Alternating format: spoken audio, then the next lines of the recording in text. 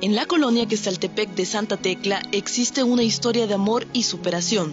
Se trata de Leandro, un niño que acaba de cumplir seis años y padece de una enfermedad muy delicada. Son frágiles totalmente. Por ponerle un ejemplo, una vez estaba bebé, le dio gripe y estornudó con fuerza y el estornudo le fisuró una costilla así de frágil es.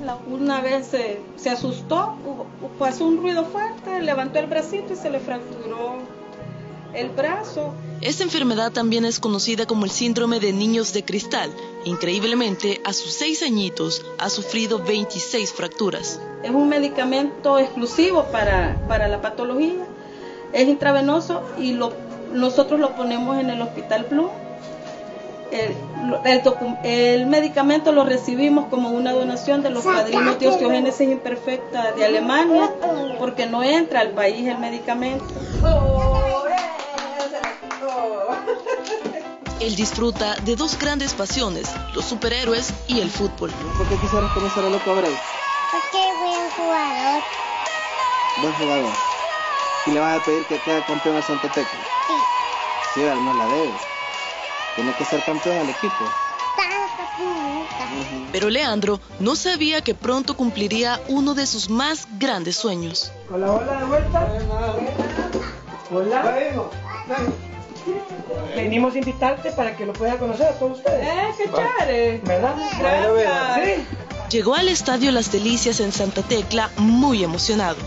Él es un gran admirador de nuestro equipo Santa Tecla Fútbol Club que había conocido al equipo, pero Leandro ahora quería conocer eh, al, nuevo miembro de la familia de Santa Tecla Fútbol Club.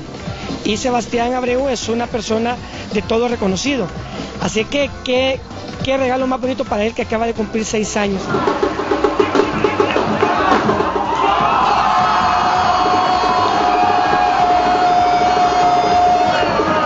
Además, recibió una silla de ruedas adecuada en la que se le hará más fácil muchas actividades. El tiempo pasó y llegó el gran momento donde conoció al loco Abreu.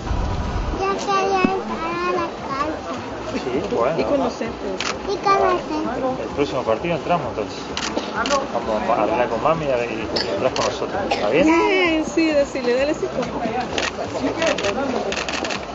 Leandro conoció a uno de sus jugadores favoritos y con una gran sonrisa regresará a casa a seguir riendo y disfrutando de su familia.